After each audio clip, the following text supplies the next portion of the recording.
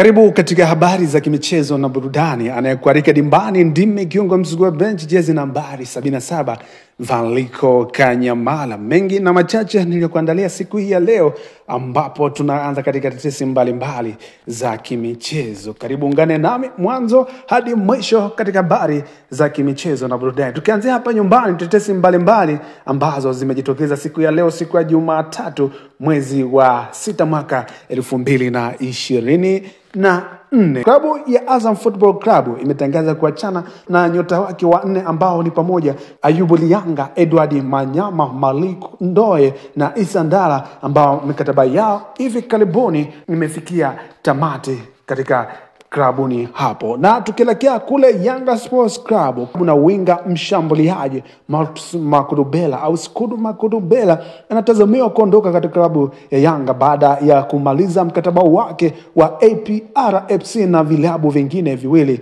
kutoka Afrika ya Kusini ikiwemo Magesi FC iliyopanda daraja msimu ujao eh, vimeonyesha nia ya kuhitaji huduma ya winga huyo winga huyo japokuwa kilicho hakuna kilicho kilichosainiwa hadi sasa. Na tukielekea kule Simba, klabu ya Simba inatarajia kumtangaza kocha mpya hivi karibuni. Simba imepata kocha mwenye uzoefu wa soka la Afrika na mwenye uwezo mkubwa baada atasaidiana na wazawa ambao watakuwa katika benchi hilo la kiufundi. Na Triple C Chama atasaini mkataba wa kuitumikia klabu ya Yanga kuanzia tarehe thelathini mwezi wa sita mwaka elfu mbili na ishirini na nne.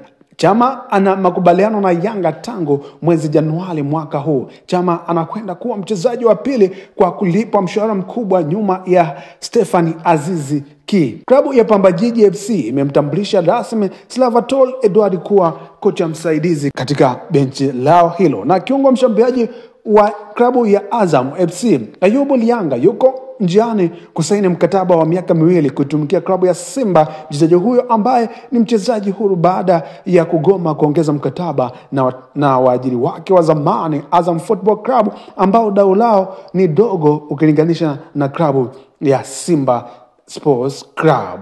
Nu Adams anaripotiwa kuwa beki wakati wa Yanga na Ibrahim Baka wanafukuziwa kwa klabu za kwa vilabu vya RS Berkane na Farabati Farabati zote za huko Moroko. Na klabu ya Simba imeripotiwa kuwa kwenye mazungumzo na aliyokuwa kocha wa Mamelodi Sundowns Steve Kamfela, Steven Kamfela ambaye ni sasa yupo jijini Dar es Salaam jijini Dar es Salaam kwa ajili ya kuchukua mikoba ya Abdelhak Benchika kama kocha mkuu wa kudumu katika klabu hiyo ya Simba. Na klabu ya Al imeonyesha nia ya kumhitaji kiungo mkabaji wa Simba Abdal Hamis. Al Ittihad inayoshiriki ligi ya Egyptian Premier League kwa sasa inashiriki, kwa sasa inashikilia nafasi ya nane katika ligi hiyo. Na tukielekea kule Mashujaa, Mpoki Mwakinyuki ameongeza mkataba wa mwaka mmoja kuendelea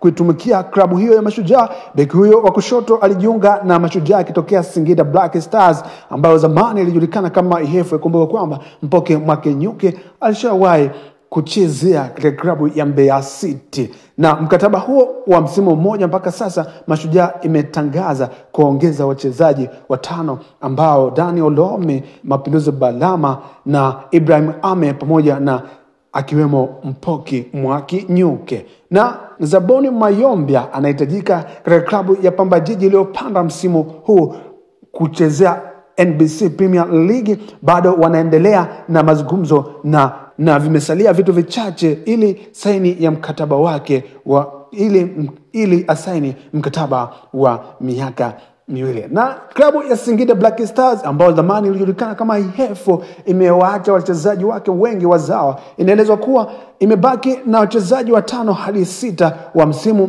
uliopita, si wazawa tu, bali Black Stars imeachana hadi wachezaji baadhi ya kigeni ambao hawapo kwenye hawapo kwenye mpango wa timu. Huku Azizi Andambwile yupo hatua za mwisho kukamilisha usajili wake kujiunga na klabu hiyo ya Singida Black Stars.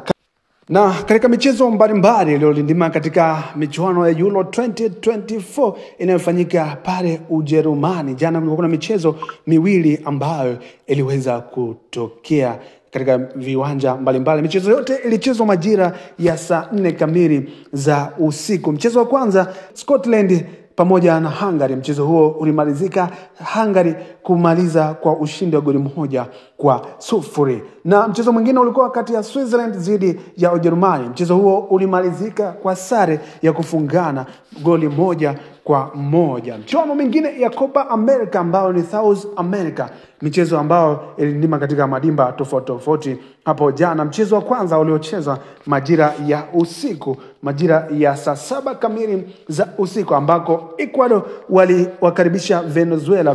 Venezuela waliibuka kwa ushindi wa magoli mawili kwa moja. Mchezo mwingine ulikuwa kati ya Mexico dhidi ya Jamaica, mchezo uliochezwa majira ya saa kumi kamili za usiku. Mchezo huo ulimalizika kwa Mexico kuibuka kwa ushindi wa goli moja kwa, si, kwa sifuri kwa Chabanga Jamaica. Na katika michezo mingine ambayo itakachezwa siku hii ya leo, siku ya tarehe ishirini na nne na michezo ya Euro 2024 ni Albania watawarika Hispania, mchezo utakaochezwa majira ya saa nne kamili za usiku, huku Croatia watawalika Italy, mchezo huo utakaochezwa nao majira ya saa nne kamili za usiku. Lakini Copa America leo kulikuwa kuna michezo mbalimbali iliyochezwa eh, iliyochezwa majira ya saa saba kamili za usiku ambako United States of America USA ambao waliokaribisha waliokaribisha Bulvania Bulvania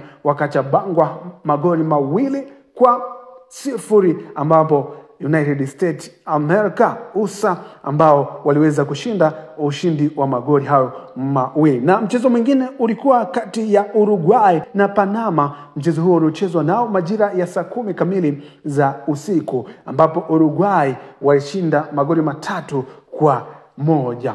Na mtazamaji wa Lumen TV, hizo ndizo zilikuwa habari za kimichezo za siku hii ya leo ya tarehe 24 mwezi wa sita mwaka elfu mbili na ishirini na nne. Ulikuwa nami kiungo mzigo wa benchi jezi nambari sabini na saba Valiko Kanyamala, lakini sisugui benchi na kupatia habari za kimichezo za ulimwengu kiujumla, na kusi uwe na wakati mwema na kutazama vipindi vizuri unavyovipata kupitia Lumen Online TV.